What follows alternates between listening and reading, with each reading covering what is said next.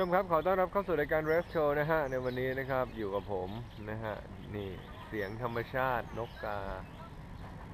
แห่งคุณเขา เราไม่ได้อยู่ต่างจังหวัดนะครับ แต่ว่าอยู่ที่สนามเป้านะครับ หรือว่าสนามพลม2รอนะฮะก็คืออกองกำลังพลนะครับทหารม้าที่ 2 รักษาพระองค์นะครับ ซึ่งวันนี้นะครับนอกจากทหารม้าคุณผู้ชมจะได้ทราบอยู่แล้วว่าจะมีทั้งเรื่องของ ยุทโธปกรณ์นะฮะพาหนะต่างๆ ในการใช้ในการรบนะครับในสังกัดของทบนะครับแล้วก็เป็นทหารราบนะฮะนี่คุณผู้ชมรถถังเต็มไปหมด แต่วันนี้ถ้าจะพูดคุยถึงรถถังเนี่ยเป็นไปไม่ได้ เพราะว่าเราไม่มีอะไรไม่มีอำนาจที่จะมาขับรถถังนะครับ วันนี้เลยพามาทดสอบปืนเจ๋งๆเนี่ยนะครับ ที่สนามนี้นะฮะเขาบอกว่าเป็นสนามที่สบายติดแอร์ indoor และแน่นอนครับนายสนามใจดีด้วย เอาละคุณผู้ชมครับเราอยู่ในสนามยิงปืนนะฮะที่สนามเป้านะครับ ก็พลม2รออนะฮะอยู่กับเอ่อแองเจลิน่าโจลี่เมืองไทยนะครับกล้าปะไม่เขาดูหนังอยู่เรื่องทูมไรเดอร์นี่นะในสนามเขาดูอยู่ คุณผู้ชมครับวันนี้นะฮะในสิ่งที่ผมจะพาคุณผู้ชมมานะฮะนี่ครับ วันนี้ผมเจอตัวพ่อนะฮะคุณชาติครับ อันนี้เขาเรียกว่า Desert Eagle คุณชาติต้องถือให้คุณผู้ชมเทียบนิดหนึ่งนะฮะ Desert Eagle นะครับมีขนาด 357 นะครับเอ่อลำกล้องยาวถึง 6 นิ้วกับ1ส่วน2คือ 6 นิ้วครึ่งนั่นเองนะครับ ก็เป็นเป็นเขาเรียกว่าไซส์ยาวที่สุดของปืนสั้นแล้วนะฮะอันนี้จะเป็นลำกล้องที่เห็นว่า 3 5 7 Magnum Pistol นะครับ ตัวนี้ผลิตในสหรัฐอเมริกานะฮะ แต่แบรนด์นี้ branding ดังๆ ก็คือผลิตที่อิสราเอลนะฮะคุณชาเชิญวางหนักไหมครับ หนักมากไหนลองถือแบบโจลี่หน่อยเถอะแบบเพราะคนนี้เขาจะมีแอนเจลิน่าโจลี่เป็นไอดอลนะฮะนี่ลองถือลองถือสวยจะตายนี่เก่งนะด้วยฮะและนั่นคือเป้าเคลื่อนของเรานะครับ คุณแจ็คนะครับพี่แจ็คพร้อมวิ่งยังโอเค วิ่งหลบนะ วิ่งหลบกระสุนนะ เขาเป็นแมทริกอ๋อไม่ใช่ฮะ วิ่งหลบกระสุนก็จิบหายแล้วคุณผู้ชมอะแล้วตัวต่อไปนะคุณชาติอย่าระวังนะครับมันจะมีโหลดอยู่นะครับอะอ้าวทำไมถึงนี่คือทำอย่างนี้ล่ะ CC Ranging Bull นะครับอ่าในน้องเทียบอันนี้ยาวกว่าเทียบลำกล้องนิดหนึ่งกับข้อสองของคุณ เทียบลำกล้องนิดหนึ่งครับอื้อหือก็ใหญ่ยาวมากนะฮะก็ใหญ่กว่าแขนชายอยู่ดีอันนี้คือ Ranging Bull นะครับคุณผู้ชมครับ น้ำหนักเยอะความยาวของตัวปืนคือ 7 นิ้ว1ทับ2หรือว่า 7 นิ้วครึ่งนะครับ โอ้ทำไมวะใช้ลูก 44 อันนี้เวลายิงต้องระวังเนาะมันชอบมันมีคนยิงแล้วก็อย่างเงี้ยถีบหน้าแหกปุ๊บนะครับแตกอันนั้นโง่นะฮะ ไม่จริงอันนั้นคือเคลื่อนไหวไม่เป็น ๆผู้หญิงอะ และแน่นอนคุณผู้ชมครับ เรามาถึงไซส์นี้ อันนี้เขาเรียกว่าปืนแบบ never die นะคุณผู้ชมครับ ใครที่เคยดูเรื่องแบบ snake eye เรื่องแบบพวก US military นะฮะอะคุณชอบวันนี้คุณเหมาะกับอันนี้มาก เอออันนี้ค่อยเข้าหน่อย11 มม นะครับ ไม่ลึกเลย ต้องบอกคุณผู้ชมก่อนนะครับว่าเศษมมเนี่ยจะมีหลายยี่ห้อมากที่ทำขึ้นมาตีตลาดนะฮะไม่ว่าจะเป็นยุคแรกๆคือ Remington นะฮะหรือว่าจะเป็นโคนะฮะแต่ตัวนี้เนี่ยเขาเรียกว่าอะไรนะไอทาชานะฮะไอทาก้าเนี่ยมันจะเป็นเอ่อปืนที่ก่อนโรงงานโคหรือว่าก่อนสงครามโลกครั้งที่สอง นะฮะเป็นโรงงานที่อเมริกาผลิตตัวแรกเลย ด้ามนี้เขาเรียกว่าด้ามงาช้างนะฮะ ไม่ นี่ลองถือดูนะครับ ด้ามงาช้างนะฮะ อันนี้ไม่เคยลอง ไม่มีลูกครับเสร็จตัวนี้ก็ที่ใช้กันประจำนะฮะ HK นะครับ เป็นเยอรมันเมดนะครับ กับ P30 อะคุณชาติเต็มตัวรับปอกนะหนึ่งสองสามรับนะครับก็จะเห็นนะครับว่าหน้าตาของ HK P30 เนี่ยหล่อมากกริปแบบเข้ามือนะครับวันนี้เป็นไฟฉายเอาไว้ส่องกบส่องเขียดนะฮะ เริ่มจากนี้อุ้ยเขียดหรือกบวะเนี่ยนะฮะ มีเห็นนะฮะทุกอย่างนะครับก็วันนี้นะฮะ และนอกจากนั้นก็ยังมีนี่และตัวนี้นะครับคุณผู้ชมก็จะเป็นเอ่อ SW นะครับ หรือว่า Smith Wesson นะครับ เดี๋ยววันนี้เราจะยิงแข่งกันนะครับ ในระยะเหรอผมเบื่อชนะคุณเหรอเออนะคุณผู้ชมฮะเดี๋ยวมายิงพร้อมกันดีกว่ากับขนาดต่างๆ เราจะเริ่มจากขนาดเอ่อที่อยากเส้นยิงมากเลยตอนนี้คือ Desert Eagle เดี๋ยวมาลองกันครับ คุณผู้ชมแล้วถ้าอยู่ข้างนี้ คือ Desert Eagle นะครับ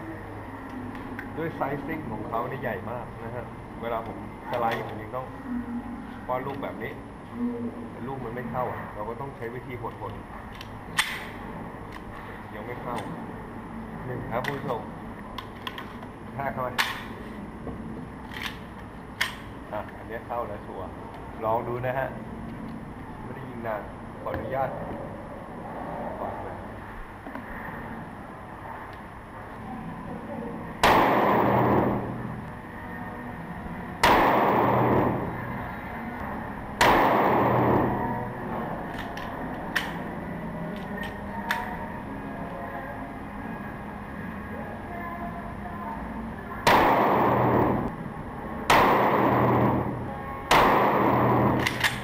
สไลด์ นะฮะด้วยโครงสร้างของปืนเนี่ยฮะสไลด์คู่นะครับสปริงสไลด์คู่เนี่ย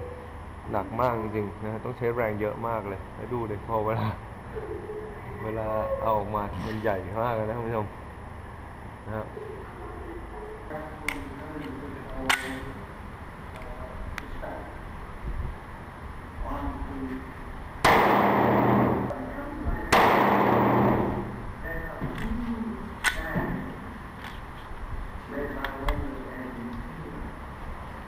อาละครับ และนี่คือ CC Ranging Blue นะครับเป็นลูกตรงนะครับ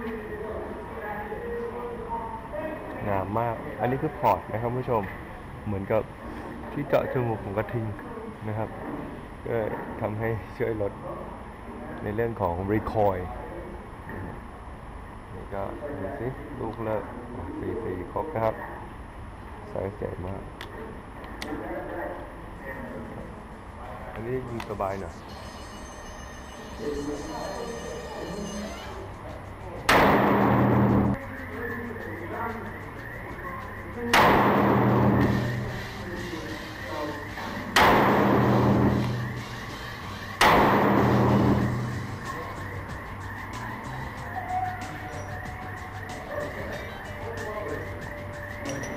นี่คืออานุภาพของ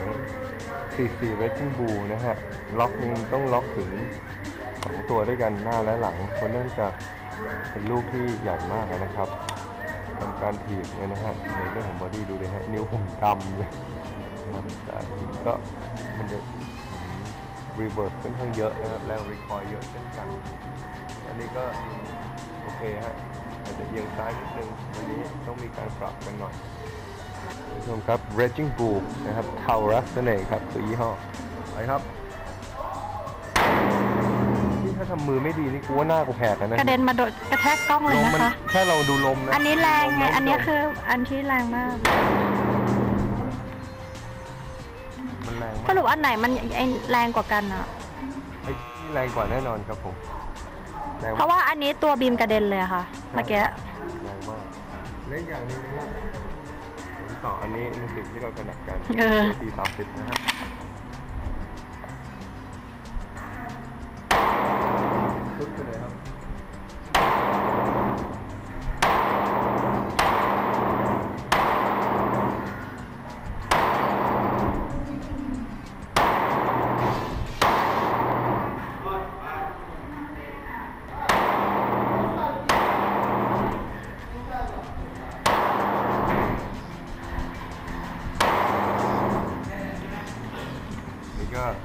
KT 3 0นะครับ ความจุลูกมีทั้งหมด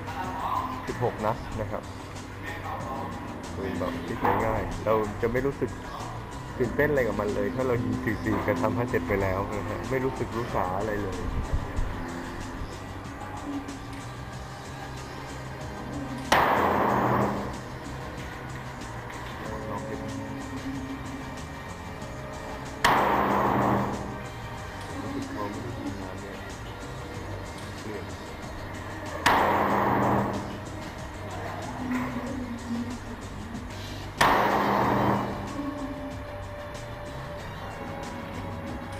ตัวนึงนะฮะเรานะครับไอตาก้านะฮะก็สิบเอ็ดอันนี้ไม่เคยยิงเลยยิงได้มา ก็คือ11นะครับ ก็จะมีคุณภาพความแรง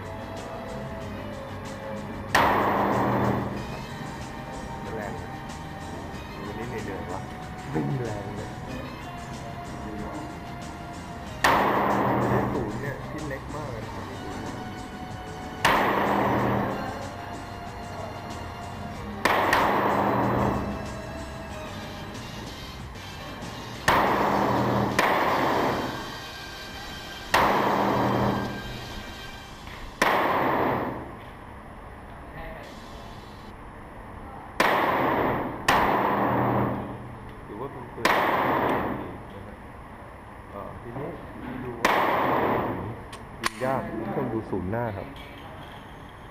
เล็กมากและบางมาก เป็นปืนเก่าโบราณมากเลย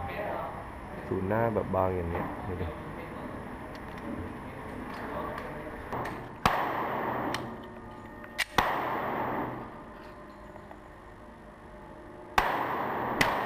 เป็นสะบัดแบบ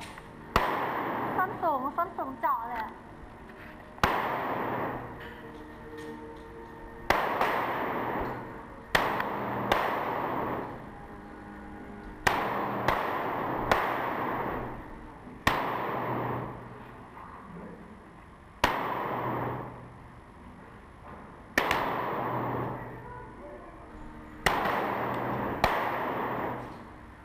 จ่ม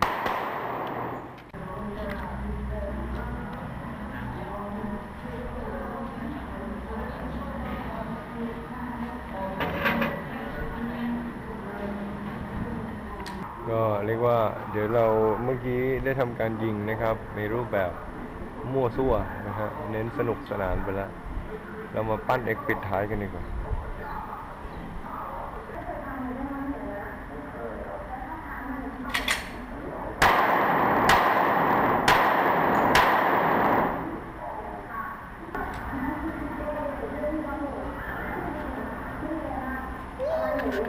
คุณผู้ชมครับได้ความรู้ไม่มากก็น้อยนะฮะเมื่อกี้คุณผู้ชมได้เห็นนะครับ เรียกว่าอยู่ในสวนดอกไม้ สาวอ่านหนังสืออยู่ มีเอ่อคนเด็กเล่นเสียงดังลำพานยิงแม่งสี่นัดครับ เข้ากระบาลนะฮะนี่นะครับเราทำแต่รายการเลสโชว์โนโนโนโนโนท่านผู้ชมครับวันนี้ได้ความรู้พอสังเกตและความสนุกสนานนะฮะ พอสมควรนะครับ เดี๋ยวชมช่วงต่อไปของรายการเรสเทลของเราครับ